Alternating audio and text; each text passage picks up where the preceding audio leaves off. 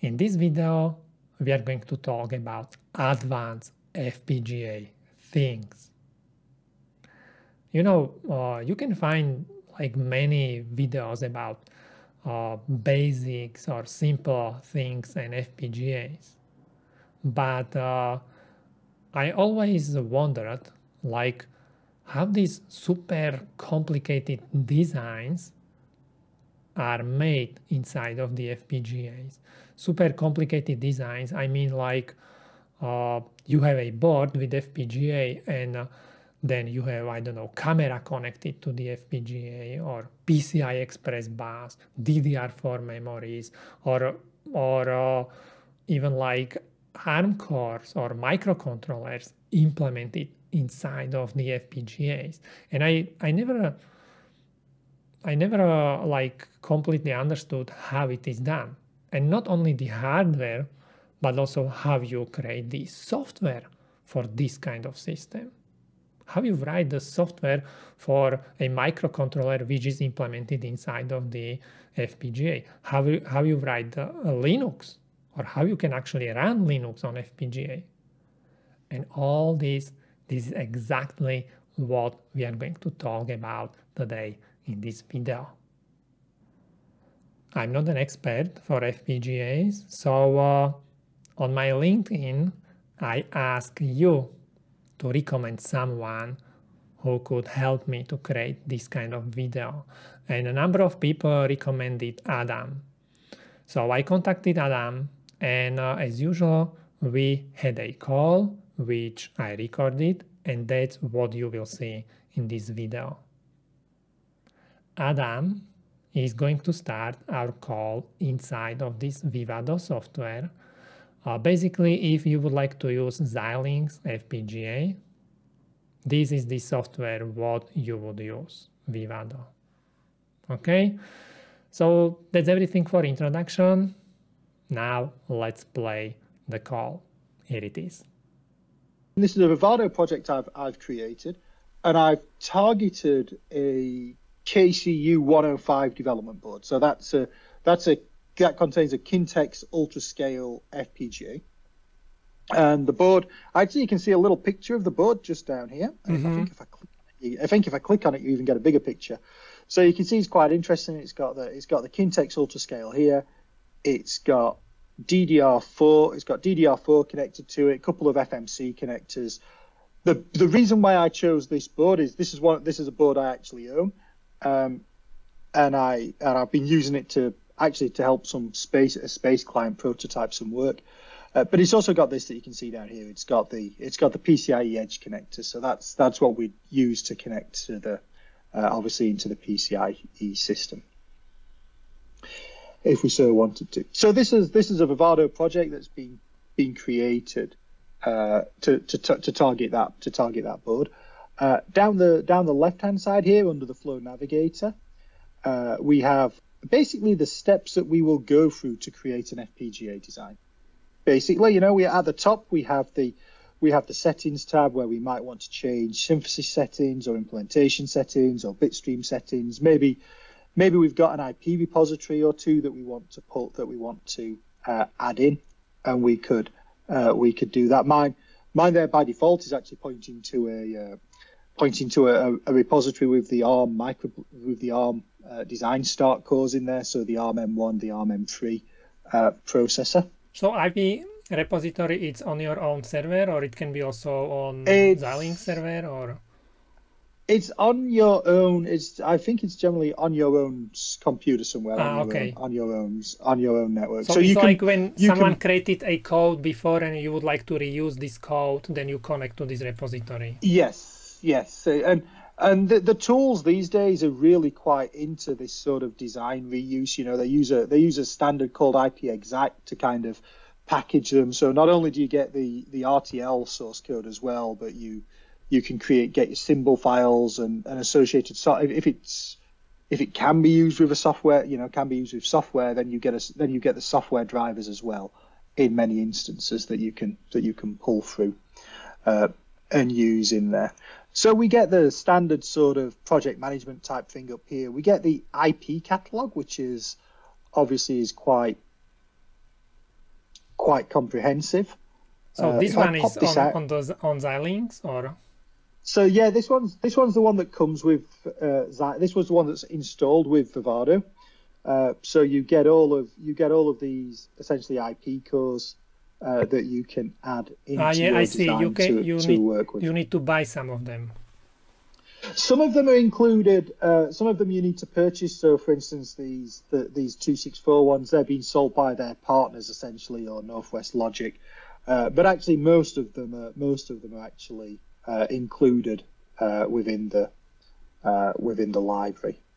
And uh, I know I may be asking too ahead, but how do you like communicate with all these IPs? There is there are some standards, or they provide always documentation, or is it? So they, so I'll show you that in a minute, and they because they do provide the documentation. The standard's really good because obviously it's like with anything, you know, with IP you want to be able to reuse it and, and change it. So there's a there's an interface standard that ARM created a few years ago called AXI. Uh, it stands for ARM Extensible Interface. Uh, and that is what's used generally on these IP uh, to communicate between themselves. So if you can see here, actually, there's a, there's a little um, there's a little list here that says mm-hmm. like AXI AXI4 AXI stream. That's telling you the flavors of AXI that it uses. So AXI comes in three standards essentially. It comes in a a full AXI full or AXI4, as as you can see it on there, and that's that's a full memory mapped sort of infra, infra, interface ah. essentially. So it's got it's got read and write channel. It's got read and write, you know, and it's me- it's memory mapped and it can do bursts. So it's something um, like when you map PCI devices or uh, like uh, like standard yeah. peripherals. Yeah, yeah, like standard peripherals, but it's really high performance and obviously because in an FPGA you can't have tri-state buses or anything like that. You know, there's there's dedicated read and there's dedicated read and write channels, and it actually does get. It's simple to use, but it's one of those things. If you start delving into the protocol, it gets really complicated. Quite, it gets really complicated quite quickly because there are extensions to have it to make it cache coherent and such like. But they, but but you have this AXI for this AXI memory map, which is which is really useful for doing high high data rate transfers when you've got memory maps when you've got memory map slaves in, involved. Do you have like um, a specification open somewhere of this? Uh... Uh, we can pull it up. We can pull that up. So you know we get an uh, idea what is inside. Yeah, yeah, we can we can pull that up. Uh, so the, this is the AXI reference guide essentially. Mm-hmm. Um, and that will explain to you somewhere, hopefully, if I scroll down. Um, and so this will this will show you the basics. So the AXI full that I was just talking about, uh, you can see here. So this is the AXI memory map. You know, it's got the it's got the read channel uh, where it's doing burst reads of data, and then it's got the write channel where it's doing burst writes of data. Now, those those are really useful for doing direct memory transfers. So if you're doing like PCIe or gigabit Ethernet or or DMA or video image processing, you know, that that's really quite that's really quite important. That comes with a big over that a big overhead's probably not the right thing, but it comes with an overhead. So if you've got a small peripheral, say, and you just wanted to write four or five registers to set that to set that to set that up, and then you're never going to write to it ever again. You're just configuring it and enabling it and letting it go. Uh, the AXI full is is kind of like it's a bit of an overkill for that. Uh, so there's a there's a subset that's called AXI Lite, mm-hmm. which is just as which is just a simple read and write type. Like you can use it like for UART or I squared C. Yeah, you can use it for I squared C, UART, SPI, and and for setting up registers in the FPGA. And I'll I'll talk about that when I'll explain that a little bit more when I start talking about the designs that were that you can create in there as well. So it's then like uh, working with a microcontroller. Yeah, yeah, yeah. Both both these interfaces, the AXI full and the AXI Lite, they're both really just memory mapped. They're just really just memory mapped. Uh, and it's just like if you're writing, if you're working, if you were to have a processor in there, say a little microblaze or a little ARM or one of the Zynqs or something, as a software engineer, you're just doing writes. You know, you just do a you just do a mem copy if you want to do a burst transaction, or you a, or you use a pointer if you want to just change one register value or not on a on a UART, for example. Mm-hmm. Um, so that gives you the the memory map sort of space. But obviously, if you've got blocks, IP blocks in the FPGA, and they're to- one's talking to the next one, to the next one, to the next one, you don't necessarily need that full sort of. You don't necessarily need memory mapped interfaces because you just want to stream the data from one to the next. So the third format, which will hopefully be in this document as well, the third format is what's called AXI stream. And that's just a unidirectional stream of data from one IP block to the next. That's what you may use, for example, for image processing or something like. Yeah, for image processing, if you're moving from one IP block to the next IP block, then that would be uh, that would be the one uh, to do. Let me just do a simple search on here. There must be a, a block diet, a picture somewhere of AXI stream. You can never find a picture when you want one, can you? Um, but there must be one. But AXI stream, it's essentially just a unidirectional stream of data. It's so simple, it's untrue. There is literally sort of a stream of, there is the pixels, you know, the, the data bus, and that can be a, a width however you want to, however wide you want it to be, because it's in programmable logic. And there is literally just, then there is a, a ready signal that's asserted by the slave to say it's ready to start taking the data. And there's a valid signal that comes from the master to tell the slave when the data's valid or not. And Okay. that's it's really that it's really that uh, really that really that simple. Okay, now Uh, I have to do I have now more questions Of course. before before we go into this PCI Express stuff. So uh, let's say you use this IP in your FPGA, and uh, basically, if I understand right, you kind of uh, like created the hardware for the peripheral. You created this interface or these registers which you can use to talk to this uh, Mhm. peripheral how you are going to talk to this register because you are on fpga it means uh, you also would like to use uh, like uh, ip core of a microcontroller or something like this So that's a that's a really good that's a really good question, uh, and it depends what your solution. It depends what your what your solution is. You know, you can you can write, and the tools will give you uh, wrappers for for VHDL or Verilog structures that will implement the uh, the AXI master interfaces or slave interfaces or streaming interfaces in, in VHDL or Verilog for you. And then you just have to connect in and, and, and put your IP, your, you know, your secret source, your, your, your algorithms in there. A lot of times actually, uh, what you see is even though you've got a pure FPGA design, you end up with this, you end up with this processing chain essentially where, whether it be PCIe or whether it be image processing or signal processing, you end up with these IP blocks that you've designed all connected together, and they've all got like an AXI, an AXI Lite memory mapped interface on them as well.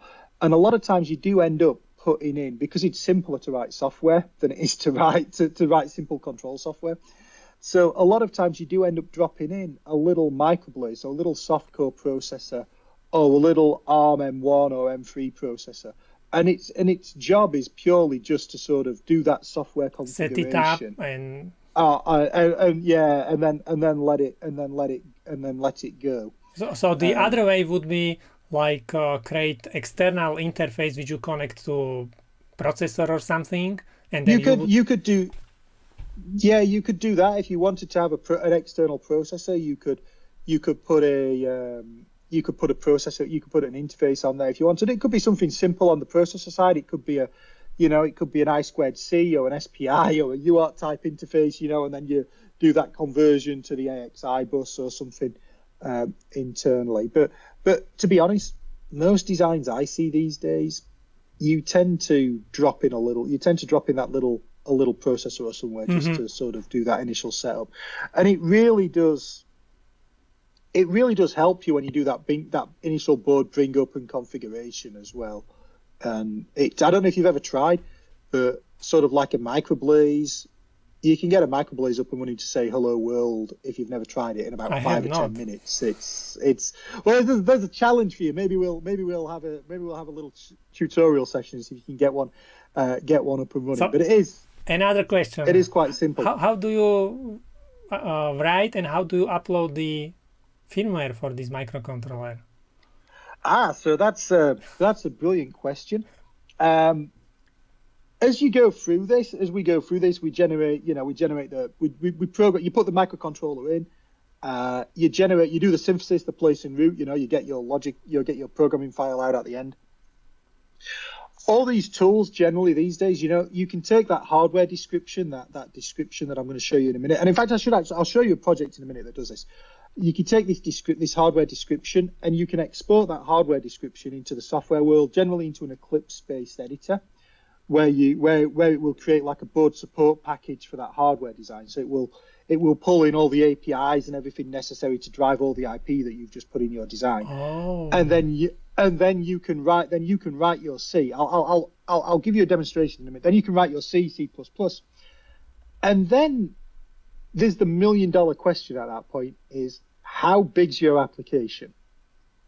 Because if it's fairly small, if your application is fairly small, uh, and your end board's fairly fairly small, and it doesn't have any external memory on it, then you can merge the you can you can put the firmware in the block RAMs of the FPGA, uh, and the and the, the, and merge that and mer- you merge that essentially you merge that ELF file the ELF file essentially with the with the FPGA So- so programming it file will- the bit file. Yeah, I understand. It will get programmed directly with the FPGA and it just Yeah, runs. and then the FPGA springs to life and it just runs. Now, if your program's bigger than that, for instance, bigger than what could be fit in the block RAM that you allocate for it, then you need some sort of external Mhm. memory. You need to then Um, kind of download And then to the you have a then you have a yeah then well then you have a bootloader type thing and they will give you know the the tools do give you these things so they will like they will give you a bootloader that you can put that you merge in with the bit stream and you just tell it the memory address to go to when it starts up. So it then starts up and it go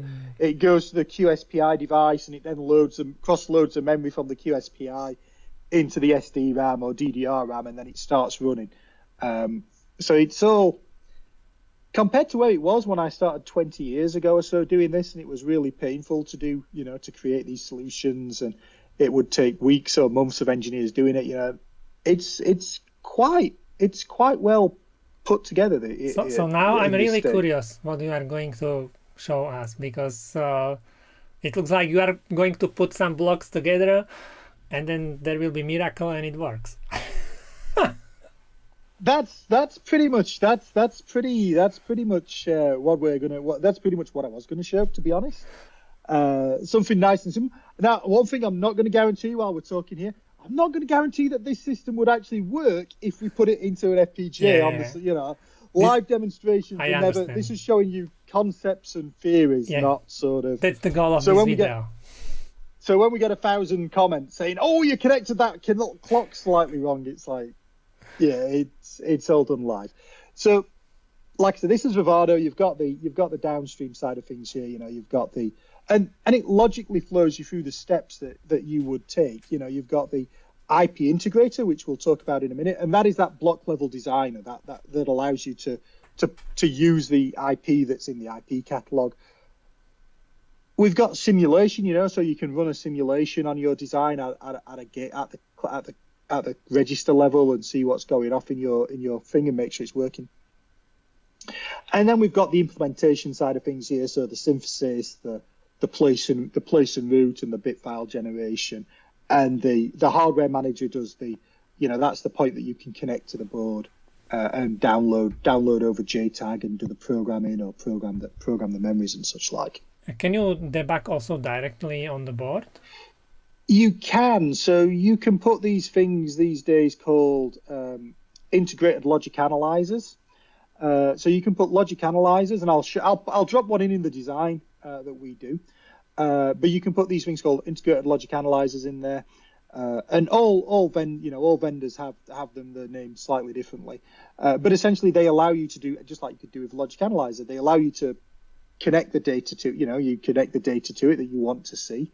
Uh, you connect the sampling clock, and then Oh yeah, I, I think I've seen this. So so there is like block logic analyzer inside of the chip, yeah, and you yeah, can probe then signals. Ah, okay. and you probe the signals, and then it, it, essentially you set up a trigger condition, and it and it captures those it captures those signals and it puts them into block RAM in the FPGA, and then it reads them out over it reads them out over uh, over JTAG and puts them on the uh, puts them on the puts them on the screen. Uh, but one of the things we were just talking about, so is this block level sort of concept and, and, and creating it all together. This is what's called IP integrator in Vivado, and you can see it's just a little blank, mm-hmm. uh, little blank diagram. If I want to add IP, I can add IP from the IP catalog. Uh, so I can uh, I can put things in here. If I want to add a microblaze, for example, I can just mm-hmm. type it in uh, and drop it in. And the microblaze, it automatically has uh, these simple interfaces like uh, UART or I2C and it, it, has the no, it has the AXI. It's just the core. It's just the core with the AXI interfaces. Mm-hmm. It's then up to you as the engineer to plug what to, peripherals to connect, you connect to connect those mm-hmm. peripherals that you that you that you want. So one of the really cool things, and this is why I always tell anybody thinking about like when I talk to clients and they're and they're doing things. One of the things I always tell them is get a development board and try you know and try create your solution on the development board and it might you know it, it's going to speed your develop it's going to speed your acceleration and your understanding up. You know it might cost a few thousand dollars for a development board but it'll probably save you a lot a lot more than that in the in the long run. And one of the benefits of having development boards is that the tools are now kind of board aware. Uh, so for example when i told that this was a kcu 105 when a, a kcu 105 board it's aware of what's connected to my board here. So it's aware that I've got DDR4 and I've got PCIe and such like on it. So if I want to add the PCIe component to this board, I can literally just grab this PCIe Express and as opposed to actually pulling it in from the so if I pull it in from the library, if I click here and I do PCIe, I go to this PCIe mm-hmm. endpoint and then I would have to double click on it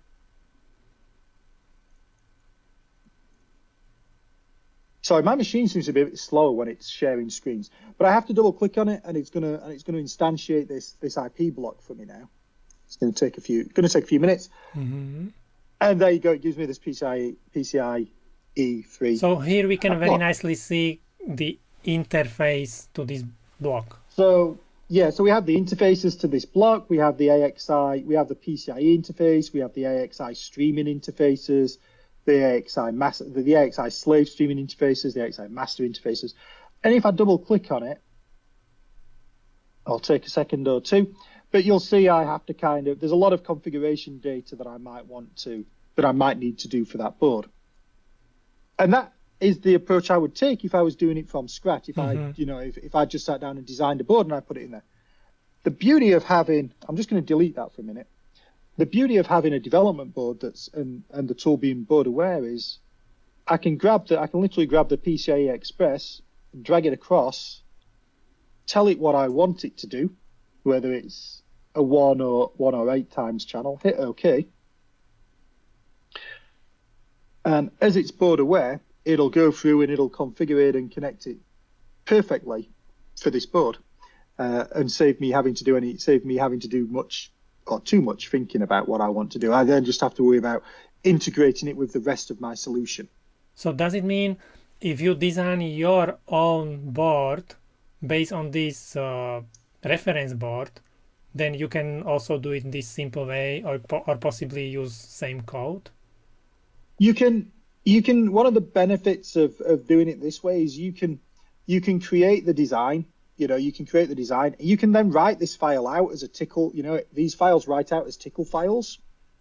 Uh, you know, you can write this design out as a Tcl file, and you can take that Tcl file and you can rerun it on your on your custom board, and it'll spring up all nicely. You might have to change the pins, you know, the pin numbers that you've actually used on your custom board compared to the compared to the development board, but you can you can you can change you can save a lot of time and and change a lot of uh, and change a lot of frequency. So here you see it's it's kind Much of pulled easier. it through. It's it's connected it through, uh, and it's if I double click on this, it's added in all of the basic stuff that we mm-hmm. uh, that we might that we might want for it uh, on this on this board. This is the PCI endpoint essentially, um, and it's got the what how we would connect it in there. So if I put in some, uh, let's think about this. If I put in the DDR4, for example, so as we've got some DDR4 on the board, uh, we'll just have it in that mode. We'll have it in the default mode. So if I put in some DDR4 on the board, we'll create a little system here. Okay. Uh, just so as you can see how it all Yeah, pulls. 'cause okay. if I've if I've got if I've got DM if I've got if I've got the XDMA, you know the PCIe, and essentially what the PCIe is looking like, th- this PCIe, it's essentially just doing DMA transfer into some D, into some DDR4 into some into some memory. So it's going to go into our DDR4 memory. Um, and here you can see we've got the uh, we've got the DDR4 we've got the DDR4 memory added, uh, and we could probably at this point.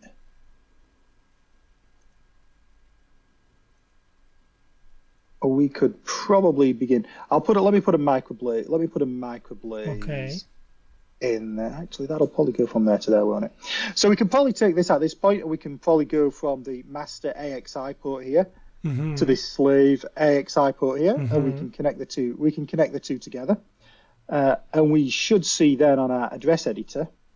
I'll actually take a look uh, on the address editor. I'll just assign the addresses. So this is our this is our memory map essentially. So we've got we've just allocated two gig essentially of uh, of the DD of the of the memory map. Um, to PCI Express interface. to the P, so, so so the PCI Express interface as a master uh, Mhm. can can access it if it wants if it wants to. So writing into this place in DDR4 memory, you are basically basically writing to the PCI Express. There's the PCI, yeah, the PCIe. If you're right, if you're if you're talking to this endpoint uh, over the PCIe bus, it's it's going into and out of. At this point, it's going into and out of this DDR4 memory, um, depending on what you've depending on what you've done. This is actually a bad example because there's nothing to Oh, put it. So you can't was put, wrong. you can't put anything in. So I was wrong. So basically, uh, data from PCI Express will go to these two gigabytes of the DDR. Of DDR4. okay, I Or, understand. or, or you could, or you could put data in the DDR4 and pull it out Mhm, over the, okay. you know, pull it out over because it's a bidirectional link. so so that's the is a- shared memory between these two. mm, Yeah, but that that's a bad example. Just connecting those two directly together because there's nothing to populate the DDR4 memory with apart from the, you know, apart from the DMA. Uh, so what we could do is we could do a few other things. We could add in a let's add a microblaze in. I can't type today. Let's add a microblaze processor in there. okay, so this is a microcontroller, yeah. So this is a microcontroller, and if I double click on it, I get a, I get a, I get a lot of options for how I want to configure it.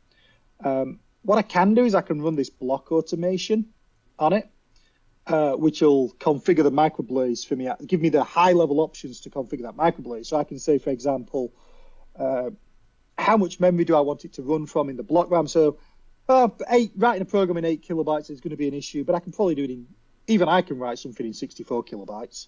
Um, not really too worried about flash, uh, about about cache in this case. We want to be able to debug it. I'll not worry too much about the. Uh, we'll not worry too much about interrupts at this point because we're not going to put Linux on there. We'll just say it's all going to run uh, bare metal at this point. and it's just asking me a clock. So I'll click OK there, uh, and you'll see this all run through for a few seconds. Oh, Uh, I'm going to just, I'm just going to pop this out and maximize it so we get a better, we get a better view. So as you can see, it then pulls through the, um, configures the microblaze. It puts you the memory system in there, the block RAM in there for the, um, uh, for its program to run from. It's a, the microblaze is a Harvard architecture, so it has instruction and data memory, um, are separate buses. And this is also, this is the this debug block here is essentially what your um, JTAG pod connects Mhm. to. so you to- can to you can debug and- your code or So you can single you can single step debug, download your code to it on and- this and- microcontroller. on on this microcontroller um, on on the fly. Uh, so that's a really nice. It is beginning to look like a nice little uh, a nice little system here. Uh, let's run a bit of block automation uh, on. Let's just finish off the block automation on the PCIe subsystem. Uh, You are not writing any code. This is the interesting bit about it, and it's writing code is an important part, but you know what you really want to do, uh, and it- it's always tricky. But what you want to do obviously is you need to focus on your value added activities you know people people come to people come to me for writing stuff about control or image processing or such like you know not for can i create a pcie endpoint or can i create a microblaze or can i create ddr4 you know that that's just the basic stuff that anybody should be able you know any any capable engineer should be able to do. So being able to do this kind of accelerates you quite quickly and allows you to get to that point really quickly where you've got a a viable solution, a viable system that's kind of working, uh, where you you know where you then want to um, where you can then begin to write the code, the RTL for your for your applications. You know, it's interesting. One of the things I spend seem to spend a lot of my time doing now is actually writing uh, writing code in C and C++ and using high level synthesis. So you write C, C++, and that compiles into VHDL or compiles into VHDL or Verilog, and then you get a little IP block that you uh, that you drop in uh, that you drop in here. I have a question. How much yeah, these IP blocks cost? So far, these are all free. So even like PCI there's, Express is free. This it's it's there's it's a free one. Yeah, it's a, I'm pretty sure it is. Uh, I might be wrong, but let's have a look at the IP catalog.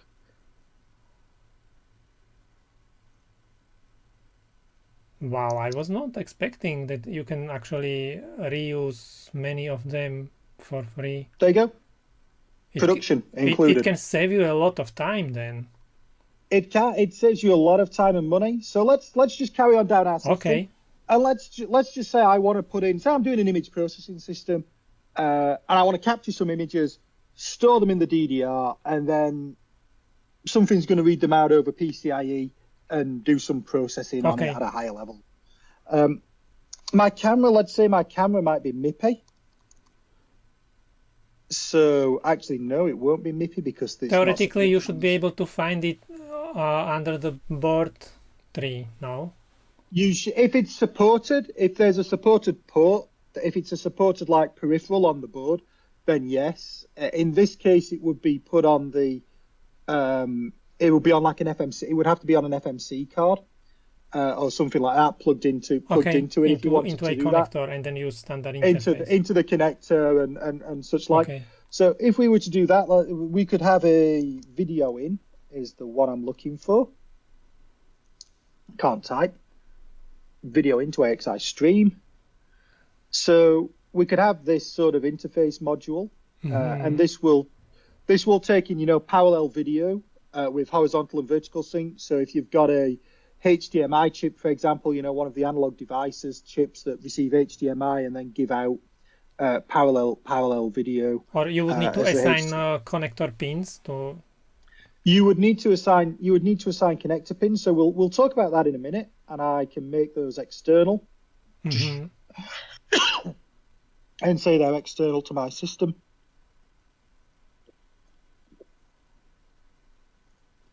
And then the output here, this is the interesting thing. This out, this video output here is this AXI stream. And if I want to store this AXI stream, I can store it in the in the DDR, so I can put in a uh, a video direct memory access block. Mm-hmm.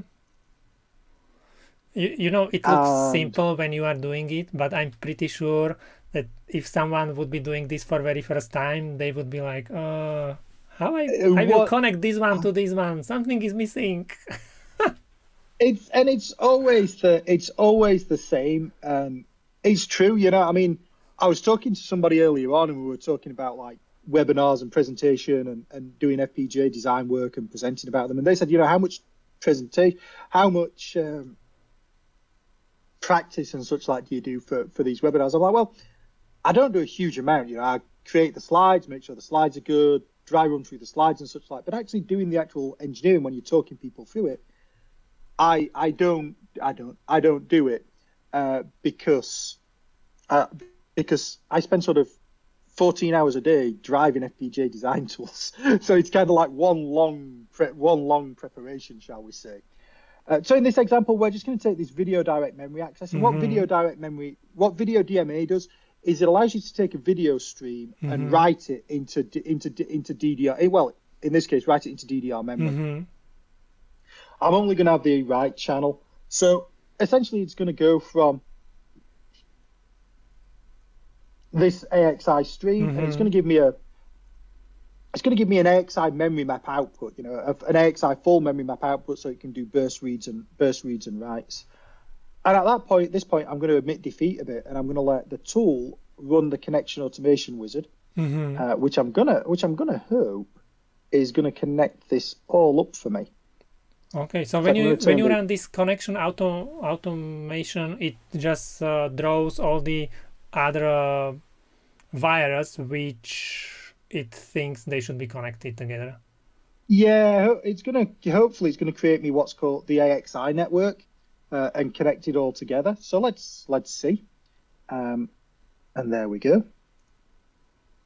So we can see here it's taken the DDR4 essentially, uh, and it's connected it to the output of the DM uh, the output of the DMA, and it's put it's put what's called a Oh. smart it's put what's called a smart interconnect because AXI is a point-to-point network, so you can't have mul- it can't do multi-drop. So you need a you need a you need a crossbar in there essentially, which is what this smart interconnect does. So it kind Uh, of even like figure out what kind of other blocks you need to connect these together. Yes, yeah, and it will do this quite it will do this quite cleverly as well for you in this day and age.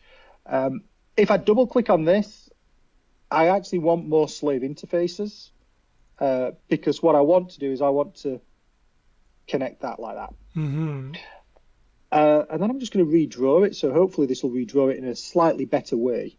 Um, so you can see here now we've got essentially we've got the video in from AXI. The video in goes into an AXI stream, goes into this video direct memory access, which goes through this crossbar switch, essentially the Smart Connect, which then can then be the, then can read then can write data into the the DDR4 This is cool. we also have at the same time we have the PCIe, which is going, which is also going through the SMC. Now, I'm not going to guarantee you that this solution would give you the most optimal performance and timing, obviously, or, or actually even work because it's quite quick, uh, and, it's just showing concepts. But it, again, it, this is also then accessing the DDR4. So over PCIe, we can read and write from the DDR4, and we can grab, we can on on the video, we can write the video into the into the into the DDR4 what we need finally is these things have got a little bit of management on there that's needed, um, and we'd need to set some. I'd need to click, collect some clocks, but I can just run through and enable the um, AXI4 Lite interfaces, and hopefully, what you see there is what's just happened. There is this um, AXI4 Lite, the the AX the the AXI peripheral coming out of the microblaze. It's put in an interconnect, which is similar to a similar to the smart connect, only Mhm. not as high performance. And then it's gone through and it's connected up to the VD the VDMA here. So it's got a So it's you got can a, you can kind of one these- it. so yeah, so the the VDM because the VDMA needs configuration. Mhm. That you know it needs to be told where to put this image in memory, how long is each line, uh, and in how many bytes. So Mhm. and when to and when to start doing it and when to stop doing it and such like. So this AXI Lite interface, it's an addressable interface, just like the mem- just like the full memory map one here. Uh, but it's got a lot less signals in it, and it's a lot, and it, it, it's a single.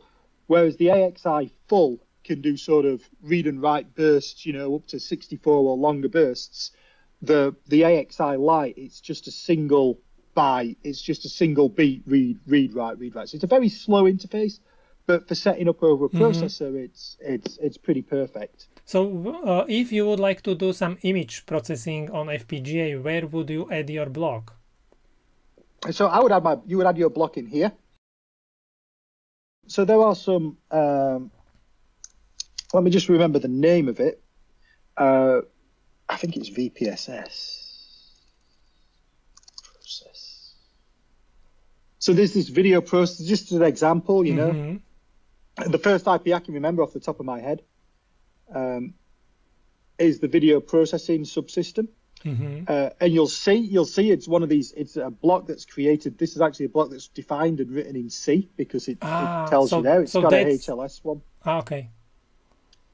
Uh, this actually by Xilinx. You know, this is a Xilinx provider block, but it's written by, and I can connect through. You know, I can connect through the, if I can get on the right interface there.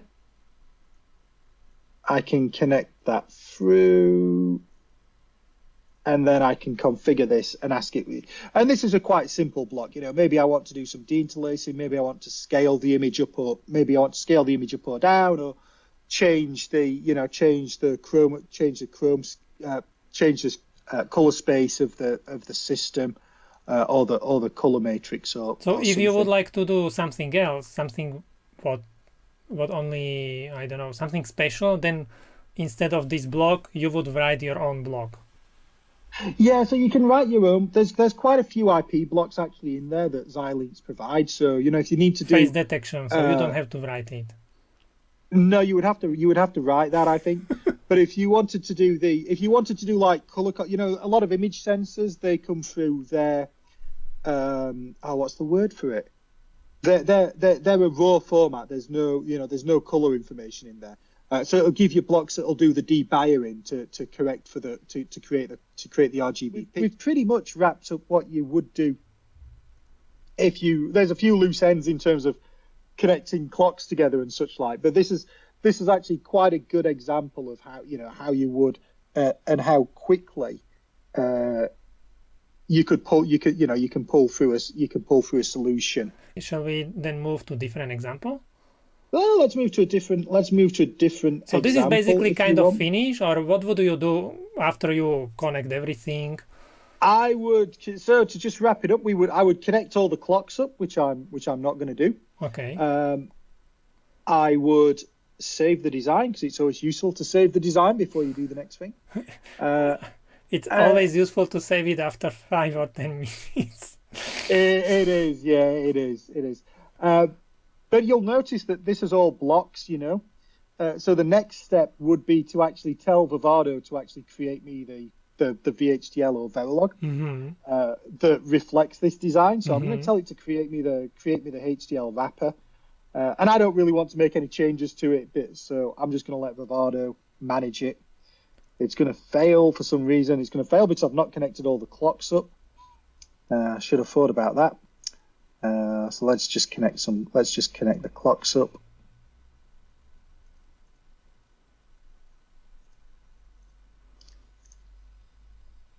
There we go. Hopefully now it will give me a wrapper. No, it still doesn't like it. Which one am I missing? Processing, oh, that one there.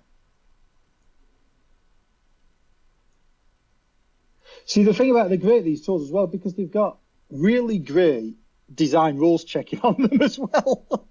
so they'll um, they'll they'll do the nice design rules checking and everything for you. So hopefully this will run through, and what we'll see in a second. So how did you create this uh, mm, this window where your cursor is? So it's uh, once you created new project, you selected the board, and uh, that's what happened? Or when you are creating yeah, new well, project, you selected the board? Yeah, when I, when you create the new project, you tell it what board you you get a choice. You either tell it the device you're using or the development board you're using, and it will create uh, all this um, automatically. Then I guess. Actually, yeah, it, it all actually you click on this little button here, create block diagram to create the initial canvas. Uh, but that can take a little time, so I I pre-clicked it when okay. I created the projects.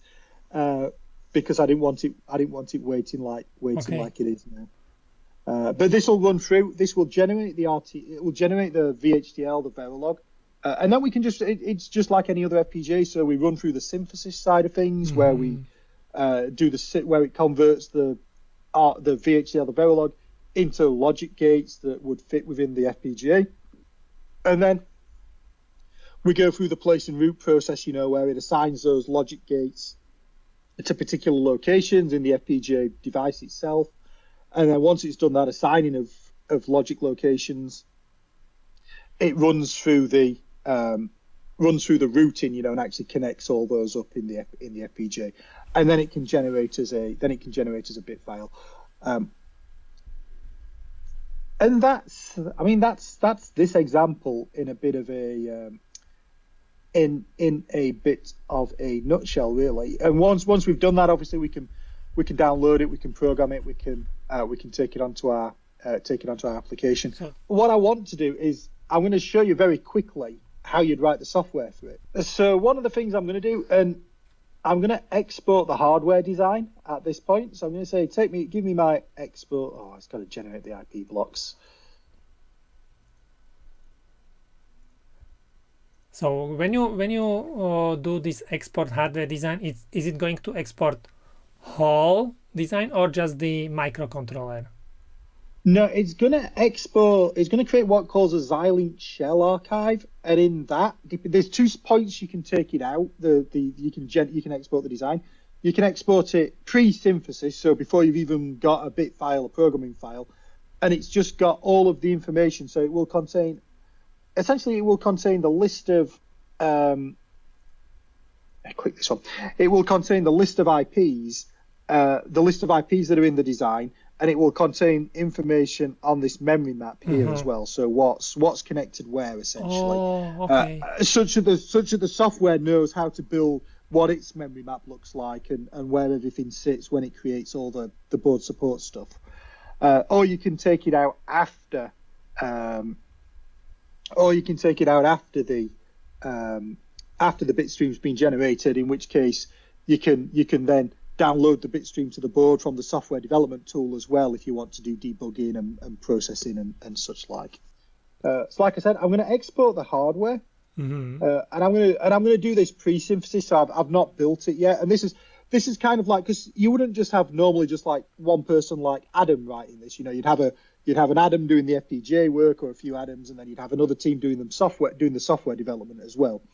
Um, and really you want to be able to give the design to them quickly. Yeah, I understand. So you, can so, you can still working you can keep working on this design. Everything what they need um, is just memory map. Yeah, and mem- and you and you just keep giving them you can just keep giving them updates. Say, oh, you know, we've added a few com- components in and, and such like.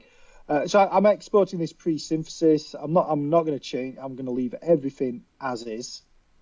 Um, and then I'm going to open the software development environment, which is called Vitis. Mm-hmm.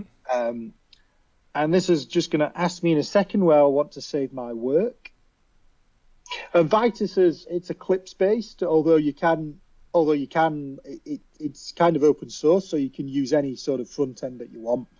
Uh, but by default, it uses um, it uses front end. So I'm going to just change that to where did I put this? I put this under projects. Demo. I'm just going to create a folder here, okay. workspace. So this is basically the software where uh, you can write code for a microcontroller which is implemented inside of FPGA. Yep, yep. So this is going to open up in a minute. Here we go. Um, and I'm just going to say I want to create a project. So I want to create, you know, I want to, I want to, I want to say hello world. Um, the first one's just explains a little bit about the architecture, you know, the architecture of it. Um, and if you want to, if you've got a repository set up, you know, so if you've got like a repository of boards set up, you can you can pick up from those. I don't, so I'm going to pick up from what we've just exported. Mm-hmm. I'm going to pick up our XSA, so I'm going to go to the hardware. I'm going to go to the location of the project. I'm Going to pick up the XSA that we've just exported from the project. I'm going to click on next. I'm going to give it a name, so I'm going to call it Hello World because I'm an original person. And you can see here, it's picked up the microblaze. You know, it picked up the microblaze, so the microblaze name is microblaze underscore 0 mm-hmm. And it said microblaze mm-hmm. underscore zero here. And this is the name of the application that we're gonna we're gonna link to it. Uh, I get options here then as to what what type it is and, and such like. There's not a huge amount to change for the microblaze to be honest on this one, uh, and then I can click on next. There's no UART. We didn't put a UART in there. Uh, so by default, the tool knows that I can't have a. The, by default, the tool knows I don't have a UART, so I can't actually make it say "Hello World." So we, will just create an empty application okay. for the time being and click on Finish.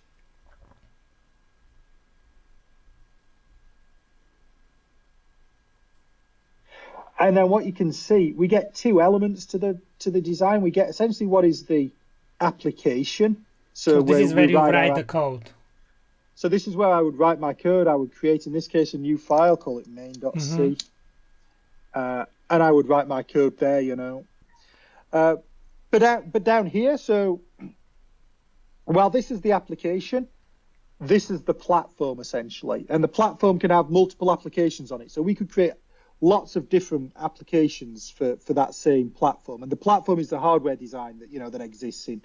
Uh, so what it's done is it pulls through, and you can see here it creates a board support package uh, with all the so it puts the drivers in. In this case, mm-hmm. it's got the mm-hmm. VDMA. It's got the VDMA drivers, the BRAM drivers, CPU standard. The, to be honest, we didn't put a huge amount in there, so there's there's not a lot. There's this file called xparameters.h, which is very important and contains all the descriptions and configuration of the uh, of the of the system. So all the memory addresses mm-hmm. and everything. This is the file that we include and we make references to when we want to talk to use Specific. drivers mm-hmm. and, and, such like. Mm-hmm and it's relatively, it's really nice and simple. We, if we want to change the BSP settings, uh, we can change the BSP settings under under here. So if we wanted to add in, for example, if you wanted to use, maybe we, could explain a little bit more what BSP means because I'm not sure if everyone ah, knows. So that's a, sorry, so that's a good question. So BSP is board is a board support package. Uh, and essentially, it's just a, con- a, con- a, configuration of drivers to support the peripherals that are connected to that FPGA. So to save you having to write lots of drivers, uh, you know, to toggle registers and bits, it, it, gives you function calls that you can use uh, to, to, to control those peripherals. So, you know, the, the, the, the UART is quite simple because obviously you just use printf and it kind of goes. But if you've got sort of like GPIO or you've got the VDMA and you want to write to it, you know, We'll, in fact, we'll take a look at one in a second. Uh, but if you want to kind of pull through, you know, if you want to pull through any libraries, you know, maybe you're, using the lightweight IP stack and you want to have the the Ethernet IP control from your software, you know, you can you can tick that and it'll be included within this board support within this board support package. Let's take a look at a driver. So the drivers in there, essentially, the thing that's mostly interesting is the the C files here.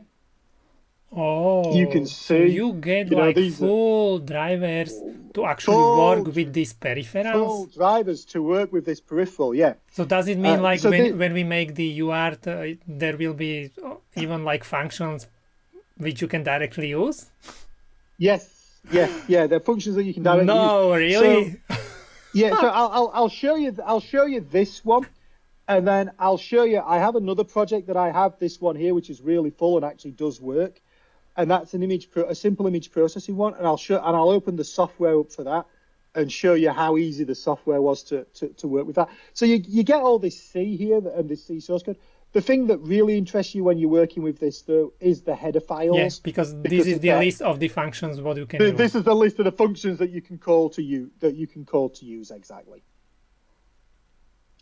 Um, and then we can then you can write your you can write your code, you can compile, you can download, you can debug, it's just like at this point in time, it's just like being a software engineer.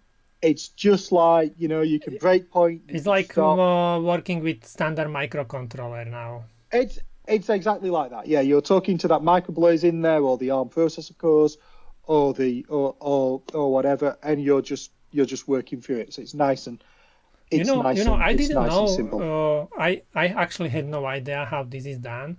I didn't know that you can open special software which will enable all these so this is like this is helping me a lot to actually understand how all this works this is good i mean this at the moment we're talking about sort of just purely bare metal you know bare metal or low level operating systems like FreeRTOS you can run embedded linux on these things as well on these processors in there you know and maybe we maybe it's probably too much to delve through today how to do that. Uh, but again, that's actually it's actually not that diff- It's actually not that. It's actually so you would put there like ARM core. yeah. So jumping about a bit, I'll, I'll, I'll talk about it in a, I'll talk about it in a minute, uh, and, and I'll show you and I'll show you that. But this is really how it all comes together and how it all pulls together. So if I just pause this project for a minute, I'm talking about this and I actually show you one that is working, that does work. Uh, it's a simple image processing application. It's on a. I'll send you some pictures of it. It's on a Trenz board. Um, a, a, little tiny. In fact, let me just go get it. If you just, just edit okay. this out. It's in the. Uh, it was in the demonstration area of my office. So, uh, so this is a little uh, a little Trenz board. Uh, it's tiny. Um, so you can see there's a little FPGA, little Xilinx FPGA under there, a little bit of D, little bit of DDR RAM. There's a MIPI camera interface mm-hmm. here, uh, a couple of USB and a, and a micro uh, HDMI there for the for the output. So this this application this this board um, is what's uh, what's what the example I'm going to show you. Actually, I'll close that for the time being, and I'll give you a walkthrough of the design. So, unlike the previous design that we were talking about, uh, where we had a microblaze, this is actually what's called a heterogeneous system on chip. So this has hardcore, hard silicon ARM processors in there. So this this one has, I think this one, I don't know if this one's, I can't remember if this one's got two or one processor in there. Ah, this one's got two. Uh, so this one's got two processors in there. Let me just double check on that. So this is how it is done. So basically, I always thought like they are kind of separate and you need to work with them like you work with FPGA and you work with the ARM, but it looks like this uh, Xilinx software you work you work with this like with big FPGA with two arms on it. Yeah, so this this one's got two ARM cores on it. I mean the the MPSoC's got four A53 processors on it, two R5 and a Mali GPU. You know, the Versal's got uh, A72s on there and, and the R5. So, so th- instead of putting of... the microcontroller as we did in the previous project, you directly have here this. ARM Do you have the Zynq?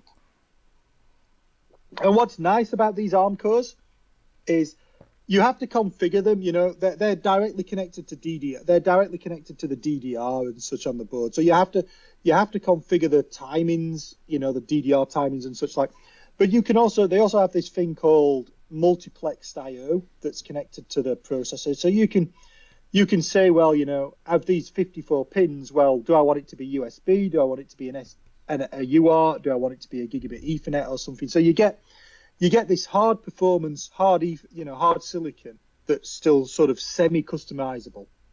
Um, and the best way to think about it is the device is kind of there's two elements to the device. There's the processing system, which has got the ARM cores in it, and it's got it's got everything you can see in this block diagram here, and then you've got the programmable logic. And how they communicate again is over these AXI links. Mm-hmm. So there's a number there's a number of AXI links from the processor to the programmable logic and from the programmable logic to the processor. Now, in some case, you know, there's some from the processor to the programmable logic, so that the processor can be the initiator of the sequence, and there's other ones that go from the programmable logic to the processor, so the processor can be the programmable logic can be the initiator of the sequence. So, for example, on the connecting to this AXI bus, um, on how, this high performance, how fast are these ports? So these, off the top of my head, I want to say the maximum is about 300 uh, the MPSoC ones, so the next generation up from this is the one I can remember, and they're about 330 megabit, 330 megahertz, uh, and they're 64 or 128. They're 64 bits, so you can get you can get quite a lot of data across them.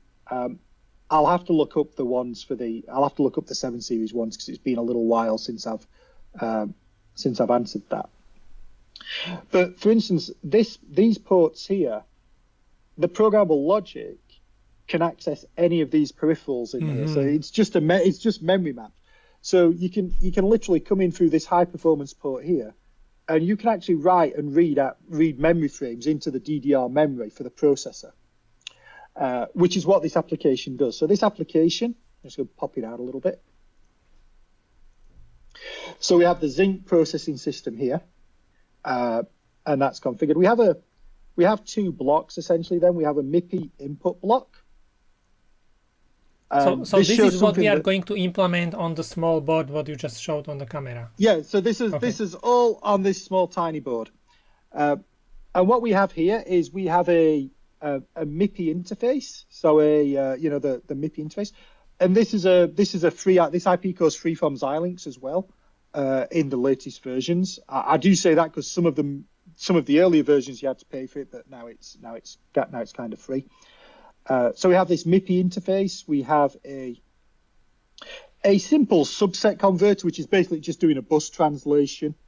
Uh, so if I, if I double click on these, you can see these a little bit. So you can see the configuration of the um, of the MIPI interface. So this the, is connected uh, to connector. The MIPI PHY if that's this what is connected to connected, connector. yeah, mm-hmm. directly to directly okay. to here.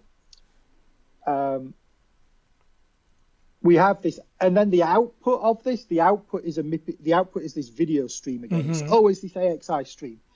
So I have I have here one of these logic analyzers connected onto it because I'm paranoid and I want to make sure when I'm bringing this up that I can see data streaming out of it. If I can't see data at this point, I've got a, you know, I know that I've got an issue here.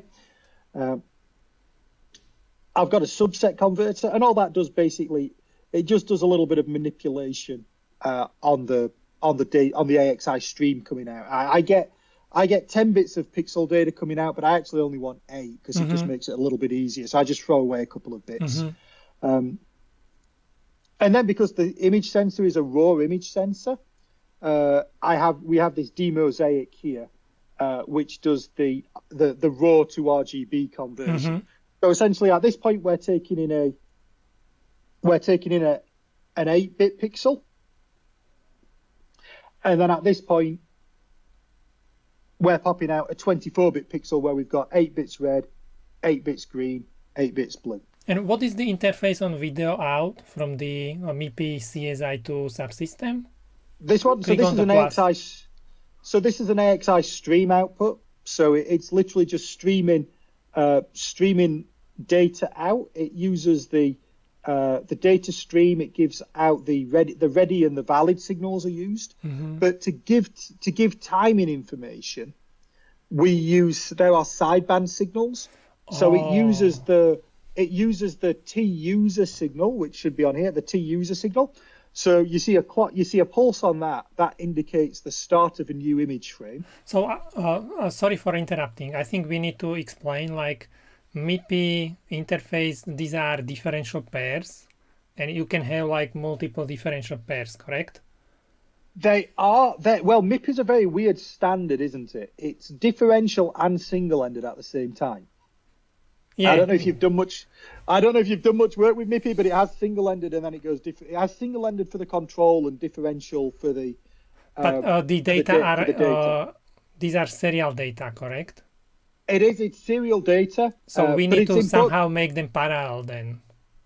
It, so yes, so it's high-speed serial data coming in, uh, and you get this on MIPI. You get this. It does go to single-ended on the same lines. It goes to single-ended to to give it packet information essentially to tell it when there's a new packet of data coming down or not. And then you get this high-speed differential data coming down across multiple lanes. Uh, this is a simple camera, so this has got two lanes of data coming down. So we have to take these two serial lanes of data and convert them into a 10-bit parallel pixel coming out. So that's what we do where? In this in subsystem? This block here. Okay. So this, this subsystem here, this IP block here is is doing the full MIPI CSI2 decoding. Uh, and it's just giving us a stream of pixels out. Uh, literally, it's just the stream of pixels coming out uh, and it's telling us whether they're valid, you know, whether the data's valid or not, depending, because it'll be a little bit bursty depending upon the data rates coming down. Um, but the thing is, if you've got a never-ending stream of pixels, how do you know where the how do you know where the top pixel is and the bottom pixel is on an image or a line? So it uses these uh, the sideband it uses some sideband signals to convey that information. So it uses this T it uses the T user to indicate a pulse on T user indicates the start of a new frame, start of a new image frame. So, so what it, what is this kind of interface? It is like FPGA thing, or it's all yeah, it's just pure FPGA. It's back to the AXI streaming that we were talking about earlier on. It's it's purely just AXI. So it's kind of special format or special kind of bus or it, what? Yeah, it, it fits within it's within the ARM extensible interface. It's one of the three interfaces that we talked about earlier on, right at the start. You know, the AXI, the AXI Ah, memory okay, map, the okay. AXI Lite, the AXI Stream. Okay, I understand now. This is this is just an AXI Stream, but it has to that AXI Stream, which essentially only has by default only has to have three signals to it. You know, a, a ready, a valid, and the data. This has some sideband signals. It has the T user to indicate the start of a frame and T T last to indicate the last pixel in a line. So knowing the start and the last pixels in a line, you can recreate an image. If you, you can rec- you can re- you can convert from a stream to a to an Mhm. image eventually. Okay. So what the, so what this does is it goes through here and by this point, you know, this is raw video coming in, raw video coming out of here. There's no color com. It's just either red, green, or blue, depending upon what pixel it's come out of. This this by the time we get to this output here, we've got the RGB pixels coming, Mhm. and it's in the same it's in the same streaming format. Ah, okay. And then we have this video direct memory access again. If you remember that from the last one. Uh, so we have a VDMA block. And essentially what this VDMA block is doing is it's going into the slave high performance port on the on the Zynq. And it's writing Which- the data to the memory. Yes, it's writing the data to the DDR memory. So it's just going in through this port, it's going in through the interface controller, and it ends up in the DDR ends up in the DDR memory. And then, because in this application, I'm not really doing anything in this, not really doing anything in the software processing, but what I'm doing is I'm using the DDR memory as essentially just as a frame buffer. hmm And so I write it in, and then the same VDMA is also reading it out. You know, it's writing in frames, and then it's reading out other frames. Um, and then we have this output path here. Okay. Uh, let me pop that. Let me pop that out a little bit. Uh, and what that's doing is it takes the stream from the VDM from the DDR memory. It takes Mhm. the stream. I in the DDR in this subset controller, I change the order of the bits about a bit okay. uh, to make sure that they're to make sure that the RGB are aligned properly and it's not BGR. Essentially, I, I, I make the bits align properly for the. And then we have this IP block here that takes the stream and does the exact opposite of what comes in and converts it into a parallel output. So an output that can go, uh, yeah, that could be displayed on a on a VGA monitor or something. so it's so it like uh, what is the uh, last uh, block is DVI or So yeah, so this this block here converts it into a straight into the normal, gives you the pixels, the horizontal sync and the vertical sync like you need to see yeah a I picture. see yeah This this final this final block here actually takes that straight that that, that, that pixel information and converts it into a DVI type HDMI type interface such that can, yeah such that it can get sent down. Where are we? Sent down this this connector here. so you are telling me that when you connect this HDMI connector you will see the picture on monitor from the camera You see the picture on the monitor on the camera, and I will go to. I, I, I picked this up a second ago, and I'm, I'm not sure if I gave it static shock or not, but I will go pick it up, and at the end of the video, I'll connect it all up and turn it on so as we can, uh, so as we can, so as we can see it. The only final bit is this video timing controller, uh, and this just generates timing signals for the video mode you want. So it just tells, it's just generating essentially vertical syncs and horizontal sync frequencies for the for the display set for the display resolution that you want. So that's really nice and simple. So basically in this configuration, if you would like to do, for example, face detection, then you would write some code for the arm, which would draw the squares around the faces. Exactly, yes. Yes. And this would be kind of add into the picture, these squares. add into the picture and done in software, yeah. So it runs really nicely, um, and it connects all together. So this this is then this is really all there is to it. You know, it's a really it's a fairly simple, it's a fairly small FPGA. This one, you know, this one, I think this board retails for about a about a hundred dollars or something.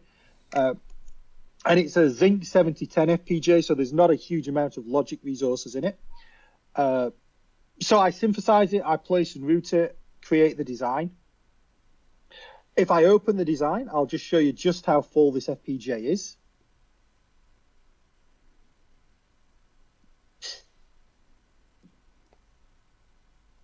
So does it mean that now theoretically it could work without any software? Once you uh, once you upload this FPGA code, the... no. Okay. and the reason for, the reason for that is memory configuration IP, or what? Yes, all of these IP blocks need some software to configure them to tell okay. them what to do. You you cannot uh, directly do this kind of like initial configuration in the setup of the block.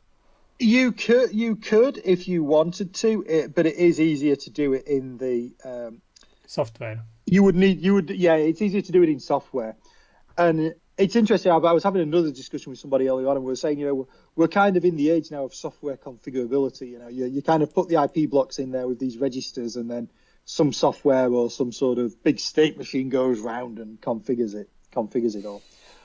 Uh, but this is the this is the design when it's implemented. Uh, so you can see if you so zoom this is the silicon can... or what is it? Yeah, this is the silicon.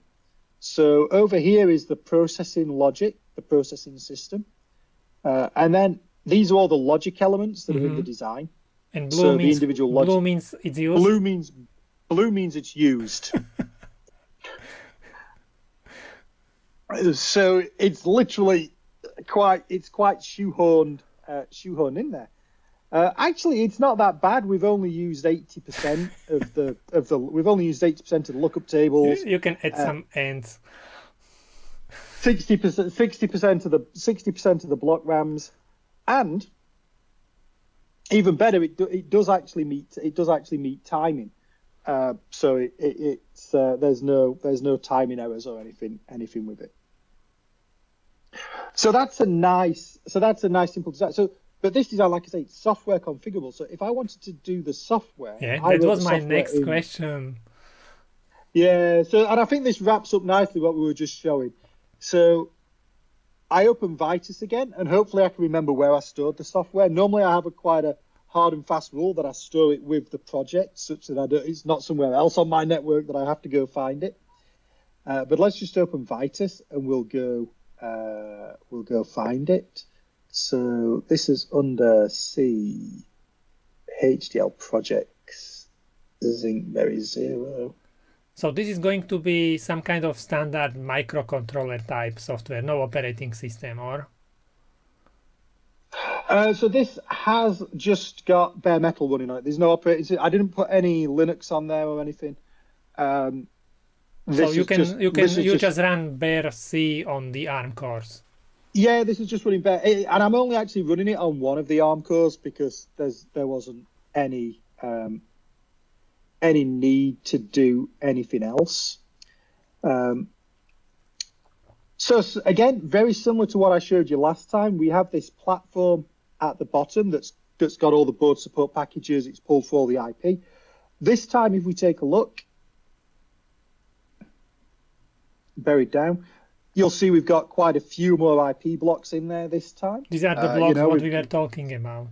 These are the blocks. So, well, some of these are the blocks. Some of these blocks are included in the processor system as well, not mm-hmm. just the mm-hmm. blocks that I put in the, the design. Mm-hmm. So, for example, it gives you the, UART, the you know the yeah, UART, the U, the UART, the USB. But here's the here's the video demosaic. Here's the video timing controller. Here's the, you know, here's the DMA block that we were just talking about. Here's the MIPI interface that we were talking about as well. And then under my application, which is under here, I can, I have my Hello World program. Printf. Printf, yeah, printf's here. You know, print. Actually, I use actually Xilinx provide a lower footprint than printf, so I, I tend to use that. Print, yeah. Um, yeah, print it does the same thing, it just doesn't take up quite as much memory. Uh, but you can see here, I've just basically all the I all the you know all the IOs, all the BSPs, all the APIs that it provides. I just call them through here in, in the include file. You know, mm-hmm. include, include the header file. You declare the instance here. Essentially, you know, you declare a variable but, here. But there is no UART. Is. is. there UART? Which, no, because which I'm, UART? because the because the UART's just print the UART's just mapped as the standard in and standard out. So literally, if you just call a print or printf, ah. it'll throw it out to it'll throw it out to the UART. Um, and then what I've done, you know, simple things, you know, like I've defined some cam, I've defined some I squared C addresses, some clock rates for I squared C to because the camera is actually connected and configured over I squared C. Um, I've declared a couple of frames. I've declared some frames here. You know, I've declared the I've declared a memory area for the actual frames where I want to store my where I want to store my data. Uh, and then literally, it's fairly simple in that it walks through and it uses the um, uses the API configurations uh, to configure the, the relevant IP block. So in this instance, it's there's an I there's an I squared C block that's in the processing system. So it's configuring the I squared it's configuring the I squared C. Mm-hmm. Uh, it's then configuring the video timing controller. Uh, and then I'm being very simple. There's a little I squared C switch on the board. So I'm just sending an I squared C message, you know, to to set the switch the way I want it to, the way I want it so to. So the set. master send polled, that's uh, kind of send That's byte. just- Yeah, that's just to send. I send send a group of bytes. So if I want to see what it is, I can click on it and it'll open up, and then I can see So- the, you know, see the see the de- see the Okay. declaration of it and how it all works. Could you use like uh, if you go into I2C driver, is not there like send a byte or something? Or Yeah, there is, there's- there is there's no I2C in the list. So there is the full I squared C. Ah, okay. uh, so this is the drivers. I2C IICPS. That's the I2C, correct? Yeah, and I'm yeah, and I'm calling this function here just because I wanted to send Okay, some byte. I want okay. to send. Actually, in this case, I'm sending one byte to to the software Okay. to the switch I, I was address. just confused because it's not called I squared C. Uh, it's IIC. It calls it IIC. okay. uh, um, not I squared C. So then it, it, it runs a simple thing, you know, runs a little function over I squared C to detect the camera, which is down the bottom.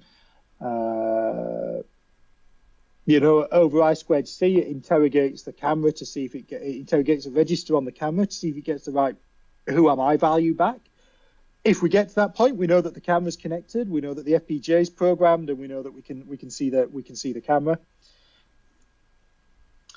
and then literally we send some configuration data uh, down to configure the camera over I squared C. Now that we know that it's connected to I squared C, we send some configuration data down to configure the imager to give us the, you know, to behave in the in the way that we want it. So uh, to give us a, an image frame. This is working at 720p. So to give us a 720p, use two MIPI lanes and such like, and that's all programming this this PCAM 5 camera that's that's in here. Um, and then once that's done, we set up the video timing controller, which is relatively simple by making a few by making a few read and writes from a from a register. Uh, So these are all So- the so- settings what you read from the camera Yeah. datasheet. From the camera data, well, these are mostly from the camera data sheet. Yeah, these are these are for the video timing mode. So there's actually a there's actually a video library. There's a VGA modes.h that that comes with it that tells you what all of the uh, video, the, the front porch, the back Mhm. porch, all of the video, all of the video timings are. So you can just set you can just set all that up, and then literally, we set the do a little bit of point, just do a little bit of pointer maths here to set the pointers up correctly for the for the frame buffers that we're going to be talking to. And then really we set the DMA transfer up. So we just say, you know, where the images where the images are, the mode of it, the size of the size of the image, the width of the image. Now the important thing is the width is the width in bytes, not the width in pixels. It's the width in bytes, and that that because that normally catches people out. Um, and once we've got that, we can start the VDM. We can start that VDMA reading and writing from memory, uh, and then we can just start the rest of the uh, just start the rest of the image processing pipeline. So literally, just tell the video demosaic, just tell it the pattern. You know whether it's BGR, RGB, or whatever the, the the overlay pattern, and just enable it. And the final line here is it really just turns the VDMA on, and then the software does nothing else ever. Uh, and it's configured it all of the image processing pipelines up and running. You know what I'm thinking about? Uh, sometimes I need to write some drivers or some uh, some software uh, on very low level when, uh, Mhm. for example, we design uh, some of our boards, and it's like sometimes super hard to make it work even if you have the hardware is working 100% mm hmm correctly and you cannot make it work in the software. Yeah. so how hard it is to actually make this work if you are not sure if even hardware is working correctly? So so generally it's actually it's not too bad. Um, but you have to think about it a little bit you know. I mean the first things to start thinking about you know is the fpga program. Does it have clocks you know, is it in reset? And and actually, these things can be quite easily done. But what's interesting is, do you remember that ILA that I was talking to you about earlier on, the the you know the integrated logic analyzer? Yeah. When you when it comes to doing debugging in this, I can set this system up such that when I hit a software breakpoint, my ILA will trigger. Or my or if my ILA triggers, I can set it to stop the software.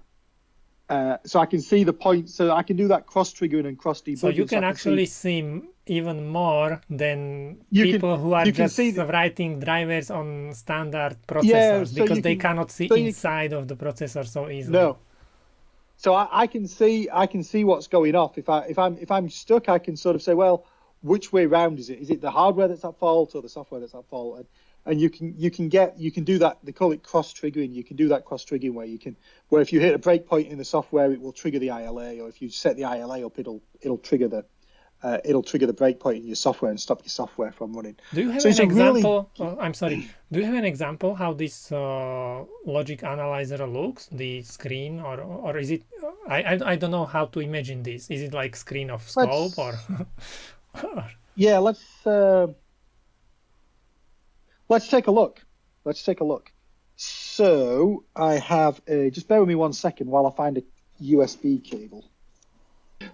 So we'll connect this little, uh, this little one to it. Hopefully when I picked it up, I didn't kill it. That's the board what you showed before with the camera? It is, and it's just got a USB cable okay, connected, it's, connected to it. So let's see if this wants to uh, actually play. So let's open the Hardware Design Manager. Let's open the target and see if there's a target there.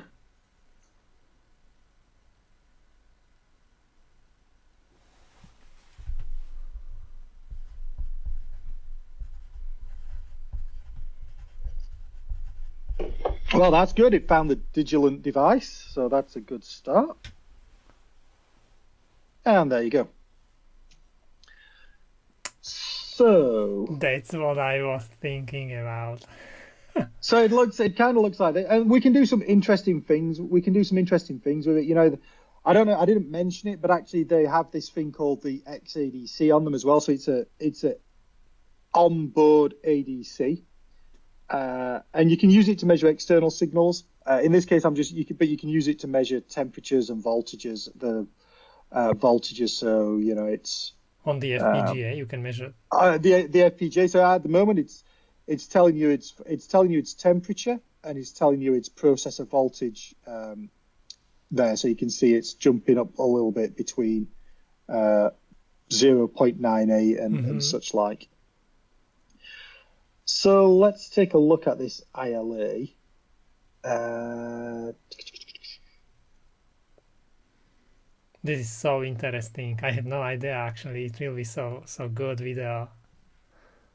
I, I really hope people will like it because this is completely new word for me. I, I had no idea it's now so uh, so really well implemented.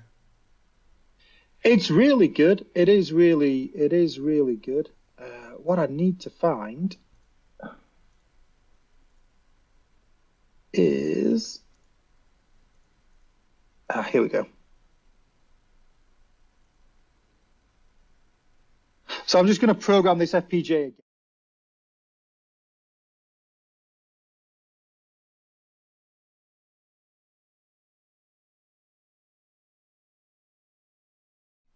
So this is um, this is what it looks like on the on the on the design. So you can see if I do an immediate trigger, uh, you can see there's not a lot of, you know, there's not a lot of, because we've not configured the camera, because I've just downloaded the software again, there's no software, uh, there's no software running on it at this point in time. Um, let's, let's download the software. Okay. So it looks basically like when you run simulations. Yeah, it look, and that I think that's that's on purpose, you know, to make it nice and to make it nice and simple and and and show it. Uh, so here we go. So you should be able to run the software. And then should be able to go back here to the ILA and trigger the ILA. Maybe I have to refresh it. Refresh device.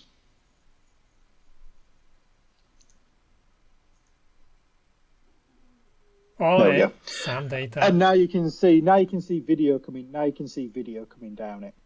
Um, so I'm not going to guarantee what video it is, but we can we can take a look. Actually, let's just tidy that up a bit because it's got. So we can trigger on it if we want to, you know. So if I want to wait for the start of a new frame, say I could pick on the T user here, and I could say wait till the rising edge, and then I could trigger on it and sort it out, and you'll see, you know, the see the the, the start point there is uh, where the where the new frame begins. Mhm. Uh, you can see the you can see the valid date. You can see the valid data. You can see the red A. You know the, the these two handshake signals. If I wanted to check the end of line, you know the end of line one, uh, or the number of lines, I could I, you know I could put this in. I could ask it to give me a rising edge, uh, and then trigger that as well. So that'll trigger on the last pixel of the line essentially. But you can do some quite interesting things with it. So you could, as opposed to having one big window, I could have 256. That's it. And if I trigger on that, you get lots of you get lots of smaller windows. So you can use that, and you can put conditions just like you can on a logic analyzer. You can put conditions on here. So if I wanted to if I wanted to check the number of lines, for example, you know, is what I expected it to do, I could set some conditions up. So, you know, start of, wait till start of frame. After start of frame, start counting, you know, start Check counting the, the number of triggers you see on example. this one. Yeah. Yeah, and then you can then you can you can have these trigger state machines that are quite compli- comprehensive in there. Uh, so I use it quite often to just check that the video's coming out. You know, the video's coming out at the right. There's the right number of pixels on the line, and there's the right number of stuff, and it and it saves it saves quite a bit of uh, quite a bit of time. Obviously, in here, you know, in the software, uh, you can breakpoint, you can single step. You know, I can pause it. You'll find it. It's running in this forever loop down the back. Uh, but I can take a look at the memory. So let's just remind myself where the memory is in here. So I'm just going to close this hardware view for a moment and Okay. just open the block open the block design again because I can't remember what the address map on this one is. And if I go here, the DDR is let's take a look. So the Vimo the Vmosaic is at this address. Hopefully I copied that. Uh, so we could go here, we can put this in here. So that's where your uh, camera So this is data are starting. this is where the V this is actually the V mosaic. So the V mos like I was saying, the V mosaic's got control over this. Re- is controlled by a register from the software. So what you're seeing here now is all of the data, all of the configuration settings for the for the V mosaic. So, that's a nice little example, really. I'll I'll go and plug this into the other side of the room, and then I'll sh- I'll show you it uh, show you it working. I hope. So I don't know how this is gonna look, but let's take a look. But you can should be able to see over on my. If I flick this round, so I'll set this on here so as you can see the other part of my office, and then just to prove it works, I'll go and put my uh, Nice. hand in front of there and move it about.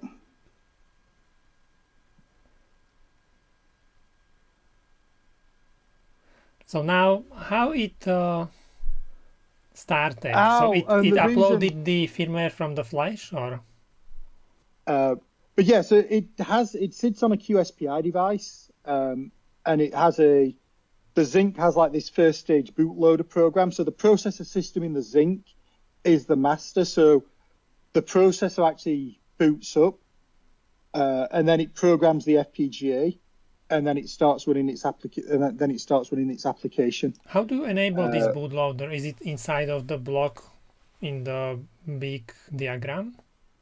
Yeah, uh, no. So it's actually generated as part of this. So you can Ah. see, you can see here it generates the the first stage bootloader. Uh, and if you want to, you can create a new application project. You don't, you know, you don't have to. Uh, but if I quickly go through here,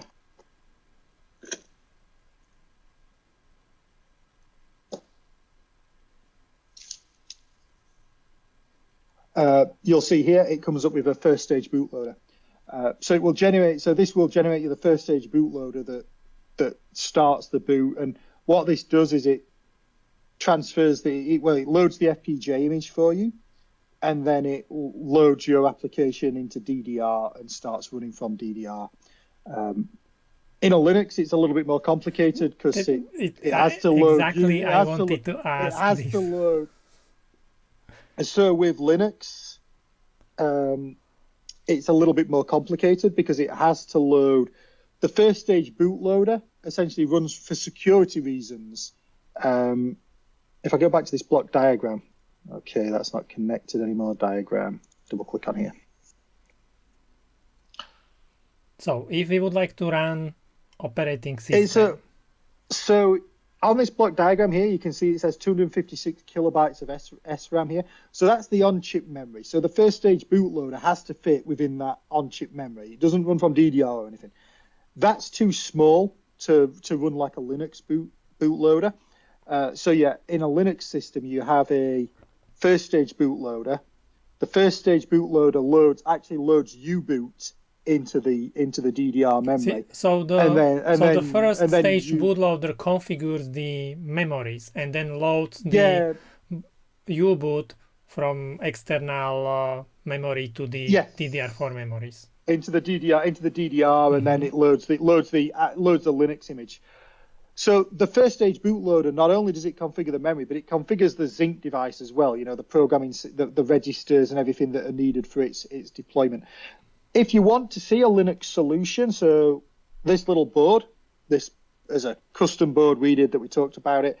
It's got a slightly bigger brother on it than the than the Zynq chip over there. So this has got that's got a 7010 on it. This has got a 7020. So same processor but slightly more logic resources.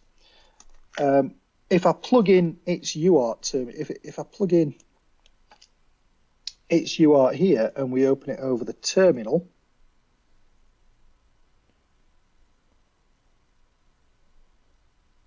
um, new connection. I need to turn it on. Serial, you, you say serial, okay. So this is serial port. So I'm just going to hit reset. up, yeah. Yeah, I'm going to hit reset so as you can see it from the Mhm. beginning though.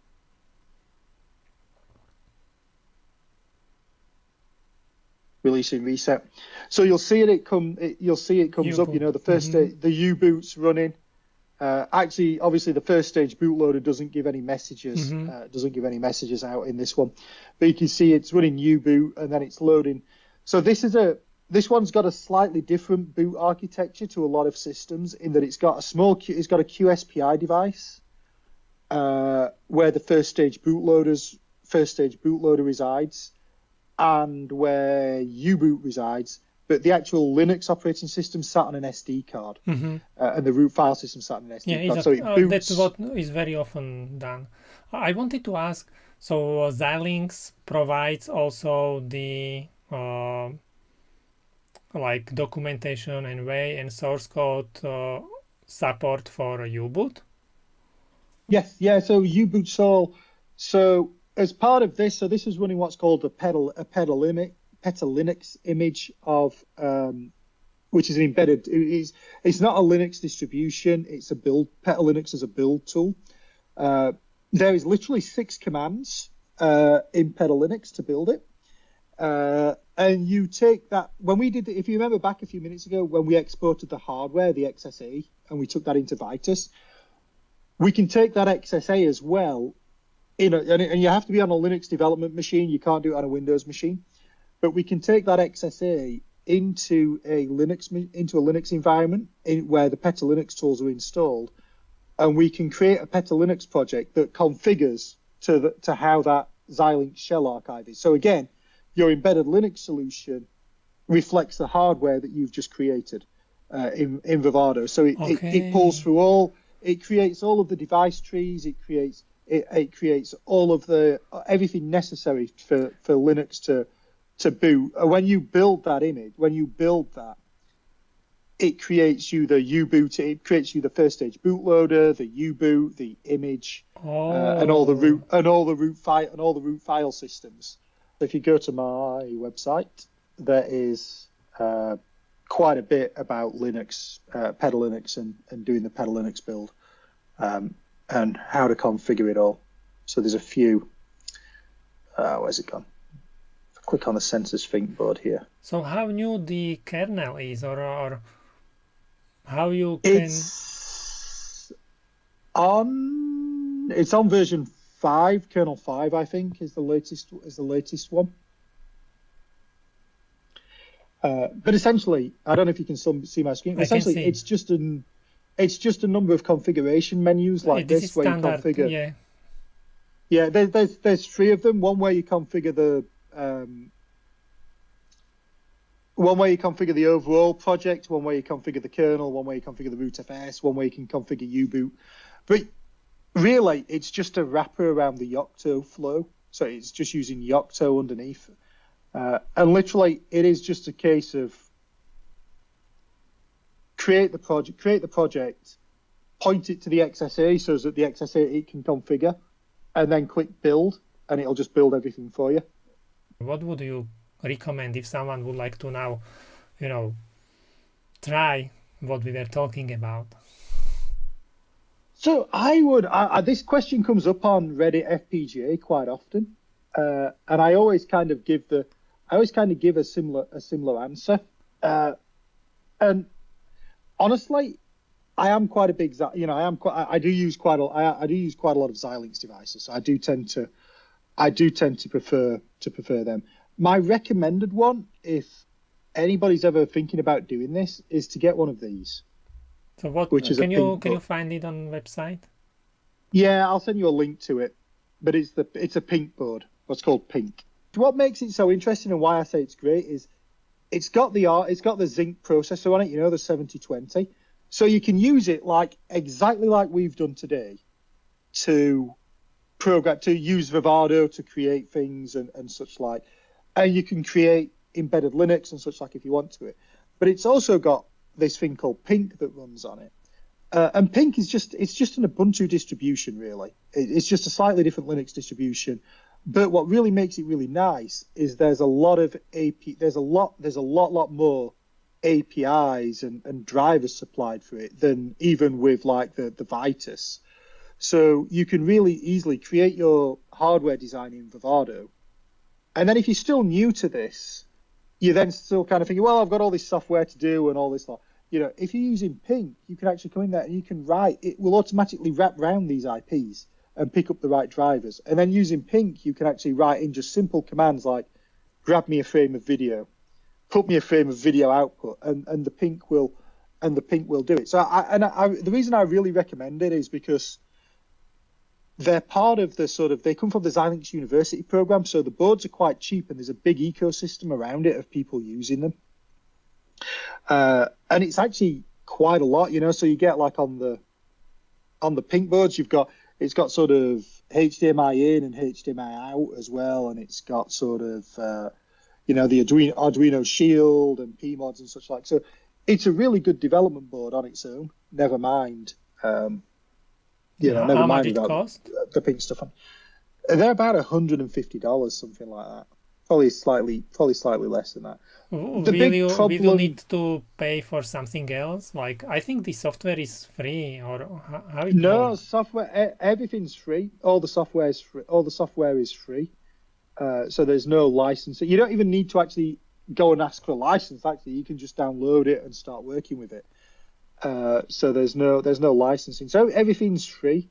Uh, the great thing about the PYNQ as well is all the PYNQ sort of stuff's all open source, so you can go take a look at it, you can go experiment with it and, and play with it as well.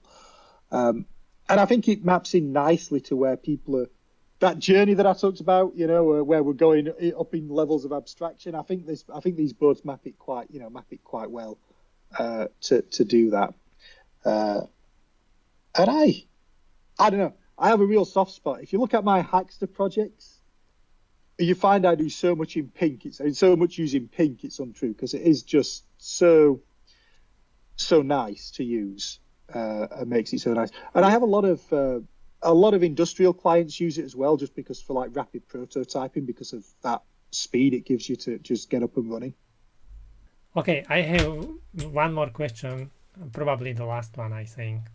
Uh, so let's go back to our original project, PCI Express. Okay.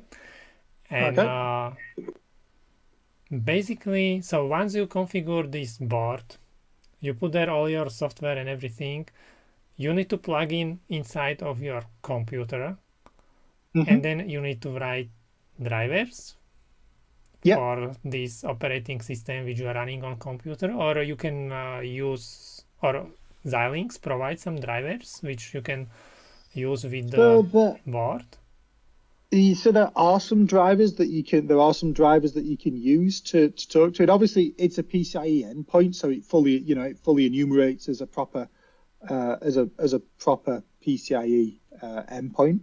Um, and yeah you can just start getting work get get work if you've got linux on there or something you know you can just start working with it and communicating with it and and and talking to it from your host system uh, to that to that endpoint uh, there's a whole host of questions where we could go here because there's the Alveo cards as well, which are PCIe based accelerators that sit in processors, uh, and that that's uh, probably a whole a whole different uh, different discussion. Yeah, I, I, uh, just wanted to know because this was uh, one of the things what I know people would like to do. For example, they take FPGA and they would like to use PCI Express to connect it to powerful processor and then do something. And and I, I never had any idea how this is done and so I mean it's it's relatively it's relatively that straightforward you know because PCIe is a, a, a standard so that you know you can write dra- you can write that you you write you have to write your application in software to sort of send the data across but it should be quite straightforward. If you want to ex- if you want to just accelerate data, uh, Xilinx have a range of cards called the Alveo cards.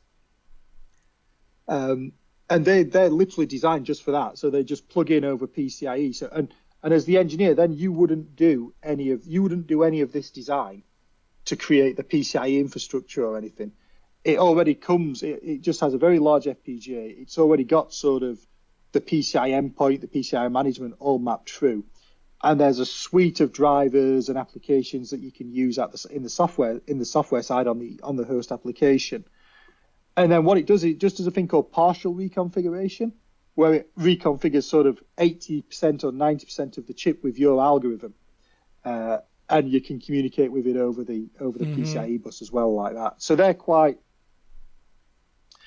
they're quite exciting. I have one, uh, the Linux machine I was showing you earlier on. I, I I have one. I have one in. I have one in there, uh, and it and it's it's phenomenal to sort of experiment and play and play with it, and to just sort of, you know, write your application, and you write it in, um, write it in Vitis. You know, you can, um, you can if you've got the platform installed, it doesn't work out. It has to be on a Linux machine, not a Windows machine. But you know, you write you write your application in Vitis, you compile it in Vitis, and then you can just run you can just run it. Um, actually, there is a couple of um, there is a couple of blogs on my website about how to get that. If anybody's interested about how to, somewhere there's some Alveo blogs about how to get Alveo up and running, which must be this this one here. So that's kind of the uh, perhaps part of the approach that you were talking about, where if you don't want to use a specific sort of off the shelf one, you can you can drop these accelerator cards. Okay, in. so And- when I'm talking to expert like you, how do you write driver on Linux? Driver get- for you- this do you mi- PCI Express. I mean, like Oh, so so for this card, it all it's all provided when you install it. It all Xilinx provide it all, uh, and all and all the hooks and everything when you. So this is here. Uh, on this here, you can see it's you know So it will be something I- similar, like before, like maybe this driver Ye- will load it, with load the Yeah, data into it loads memory. it loads the it, it loads the data. It pulls it all back. It does everything. All the drivers Oh. for the Alveo for the Alveo range. Literally everything's there. All I have to do, all you have to do, is write your application essentially. which will access to in- specific memory space. Yeah, all you have to do is write your open your write your OpenCL application in Vitis, and it just pushes pushes it across. Uh, and then I don't know if I got an example, but I don't know if I ran it. Yeah, so this is so you can see here. Sort of the first half of this blog is sort of how to install the card and make sure that the card's up and running, and then the second half is opening the Vitis application that we've that we've that we've been looking at. But this time it's on a Linux machine. Uh, so it gets the acceleration flow enabled. So you can see where selecting the, the U50 card that's in there, uh, creating a simple sort of quantitative finance model that we want to accelerate. So, so this software will generate the application which will run on Linux. It will generate the application that will run on Linux and it will generate the bit file that runs on the FPGA as well and make sure the two work together. It uses a, uh, there's a framework called OpenCL uh, that, that does that. And OpenCL is designed to sort of have this heterogeneous computing system where you have a master, where you have a host and multiple compute devices. Uh, and those compute devices could be anything, you know, they don't have to be an FPGA, it could be a DSP or a GPU or something It's like not that. it's not used in graphic cards, for example. As open, oh no, you're thinking of OpenGL, not Ah, okay. OpenCL. But, but you can use open, yeah, but you can use OpenCL on graphics cards as well. So how it works is you have this like host computer, which is normally like an x86 or something. Then you have these acceleration nodes, which could be an FPGA or a GPU or a really high-end processor or something very specific.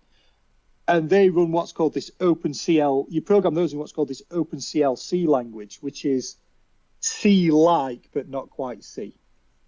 Uh, and it and it allows you to be portable. So you can take that same application from one of these accelerators and move it from the FPGA to the GPU or the GPU to the FPGA, uh, and it'll just compile and work.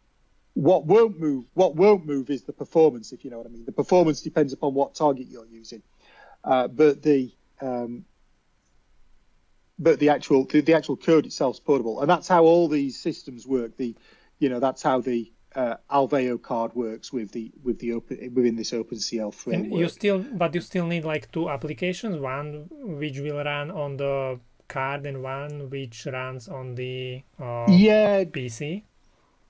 yes, but that's all created in that's all created I in understand. Vitis.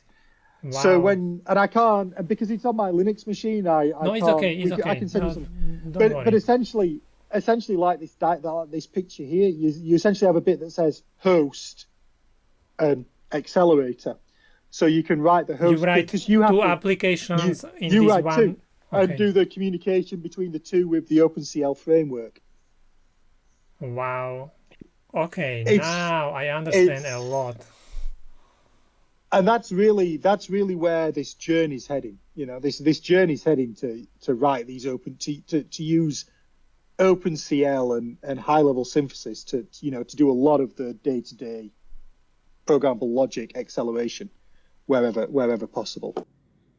And uh, that's everything for today's video.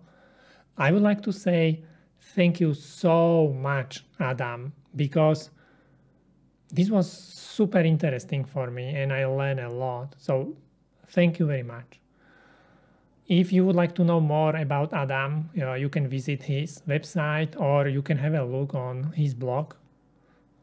He has like many articles, some of them we mention in uh, today's video. Uh, I would like to know what you think about this video. Did you find it useful? Did you learn something new? Did you know how all these complicated systems are implemented in FPGA?